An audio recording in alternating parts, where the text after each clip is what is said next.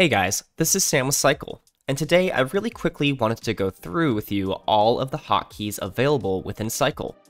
Hotkeys are super useful to customize the visual experience without having to stop the visualizer. So first and foremost, we can view the hotkeys by clicking the small keyboard icon at the top right. Now, let's go through what each one does. So, let's go ahead and start our visualizer. First, if we hit enter, it will lock the current visual in place. Then, we can hit enter again to unlock the visual. Next, we can hit spacebar to cycle to the next visual in the queue, and we can hit backspace to go to the previous visual.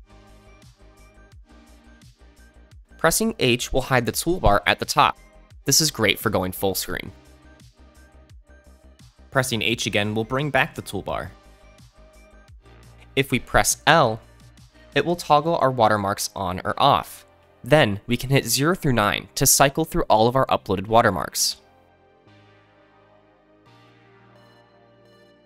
Then we can hit M to toggle our marquee text on or off. And those are all of the hotkeys available to you.